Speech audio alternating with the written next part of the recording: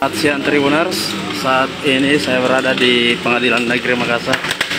Ini sementara proses pembersihan pohon tumbang, di mana sekitar setengah jam yang lalu terjadi pohon tumbang di depan uh, Pengadilan Negeri Makassar ini yang dikabarkan menimpa dua orang pekerja. Saat ini lokasi telah dipasang garis polisi. Seperti inilah kondisi pohon yang tumbang uh, siang hari ini.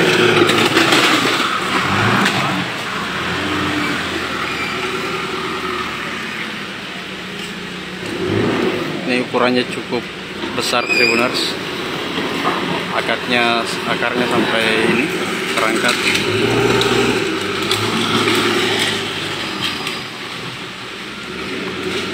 Jadi dalam insiden pohon tumbang ini dikabarkan dua pekerja karena pengadilan negeri Makassar ini sementara renovasi juga.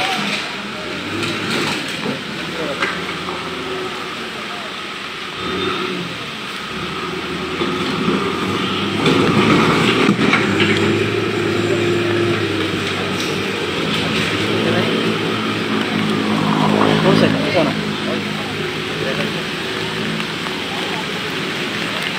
Jadi saat ini masih sementara proses pembersihan.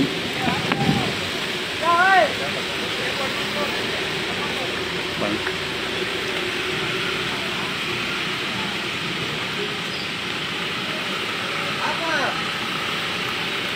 Ini ranting dari pohon tumbang ini juga mengenai atap bagian depan eh, dari pengadilan negeri eh, Makassar ini tepatnya di jalan RA Kartini.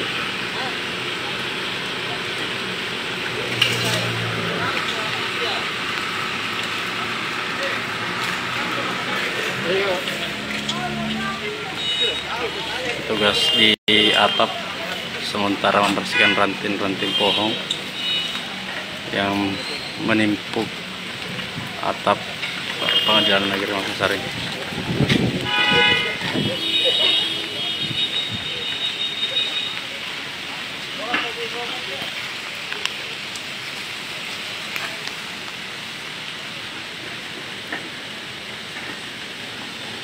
Kita lihat lebih dekat lagi Tribuners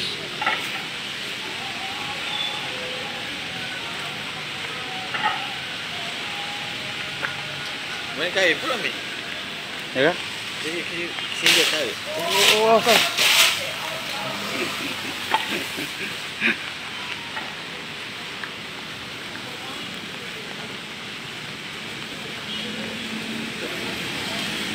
ini akan mendengar wawancara dari Kapolsek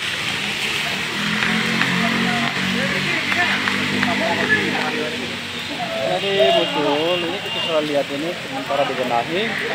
Tadi pekerja dari proyek pekerjaan revitalisasi kantor pengadilan di sini. Dua orang, hanya satu orang memang tidak begitu fatal. Dan ada di rumah sakit. Itu sedang ditangani di apa tindakan medis di sana untuk menyelamatkan. Alhamdulillah dari kejadian ini tentunya ya membawa hikmah kita semua. Untuk kami dari sisi Arkam Tikmas tentunya pas saya harus berpikir apa yang harus saya lakukan. Utamanya dalam hal menghimbau kepada warga masyarakat.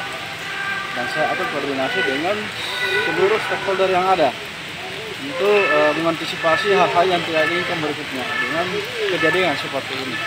Ini memang tadi hujan deras dan disertai angin dan Eh, sebenarnya sih hujannya tidak begitu deras ya. Tapi saya di depan kantor di sana melihat oh, angin kencang sekali nih. Dari arah barat daya ini kencang sekali angin. Jadi kemungkinan itu eh, kalau hujan sih tidak eh, seperti ini saja sekarang. Saya, tapi angin tadi memang kencang. berapa korban yang Korbannya dua, satu yang agak serius, tapi informasi terakhir katanya sudah patah. Yang satu hanya luka luka lecet, luka ringan. Sementara semua ditangani di rumah sakit Lamongan. Identitasnya sudah ada. Identitasnya ini Tapi memang dua-dua ini pekerja ya, informasi dari sini dari pihak pekerja ini bahwa dua-duanya adalah pekerja paving block di sini. Hanya katanya saat apa ini pohon tumbang, mereka semuanya mau menyalahkan diri. Hanya sasaran karena arahnya buat satu arah dengan pohonnya kayaknya Hmm. nah, tertimpa itu. Panjangnya pohon ada berapa? Tinggi kalau kita Ada lihat berapa ini meter ya, rata-rata seperti ini kurang lebih 30 meter ini. 30 Eh, meter. tinggi. Dan memang sudah waktunya kita harus pangkas. Ya. Oh tua. Tua sudah Ya tua. ini kan pohon sudah lama. Kalau usianya mungkin nggak lebih bisa jadi ini kan seumur dengan apa pohon trembesian dulu di pojok itu karebosi kan. Iya. berapa puluh tahun gitu. Ya sudah berpuluh. Proses tahun. persidangan sendiri bagaimana bang? Apakah terganggu? Eh, atau- persidangan alhamdulillah tidak tidak terganggu, normal karena kejadiannya pas sholat Jumat. Informasi 15 menit setelah sholat Jumat eh, musibah ini terjadi. Jadi kalau sekitar jam 12 sampai jam 1 itu kan tidak ada persidangan. Ada apa waktu istirahat untuk isoman. Oh iya. Oke, mantap. Makasih banyak Oke, bang. terima kasih, mantap. Terima kasih. Kami yang terima kasih bang. Mana, Bang? Ya, halo. Jadi ini masih sementara punya pembersihan dari keterangan polisi tadi Kompol Syarifuddin itu menjelaskan eh, tumbangnya pohon ini terjadi sekitar 15 menit eh, ba'da ataupun setelah salat Jumat dan mengenai dua orang pekerja paving block karena pekerja ini merupakan pekerja eh, renovasi ataupun revitalisasi eh, gedung ataupun kantor dari Pengadilan Negeri Makassar. Keduanya keduanya terkena ini sempat menyelamatkan diri namun saat lari eh, keduanya searah dengan arah pohon yang tumbang. Ini pohonnya Tribuners cukup besar dan diperkirakan karena sudah lapuk ataupun sudah tua ditambah dengan eh, kencangnya tiupan angin yang mengakibatkan pohon ini kemudian tumbang dan hingga rantingnya mengenai atap dari bangunan berarsitektur Belanda ini yaitu bangunan lama yang dijadikan sebagai tempat persidangan ataupun kantor dari pengadilan eh, negeri Makassar.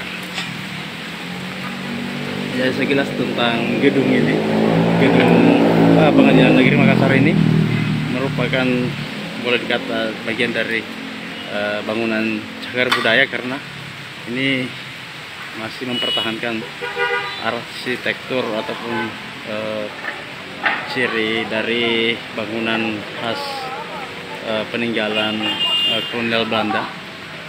Ini sangat tampak terlihat. Jadi ini dalam proses revitalisasi.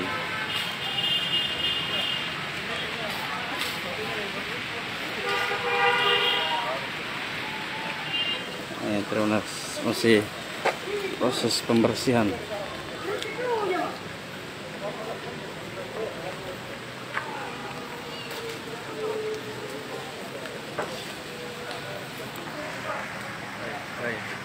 Rester lalu. Isen jaga etika. Ini masih proses revitalisasi.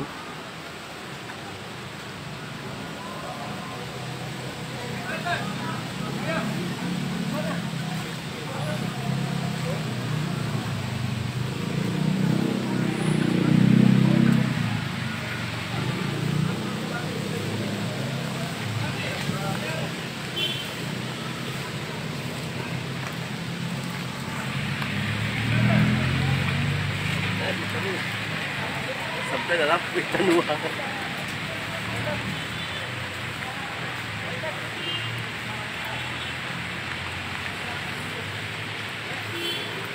Jadi di lokasi ini sendiri sudah dipasangnya garis kuning.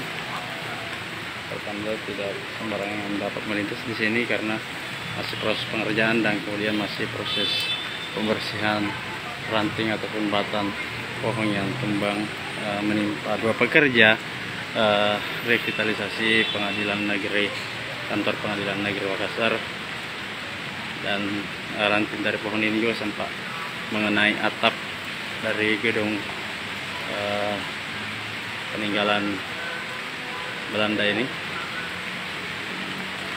Ini batinya sudah dibersihkan. Oke, Tribuners, demikian dulu live kita di lokasi pohon tumbang yang menimpa dua pekerja di Pengadilan Negeri Makassar.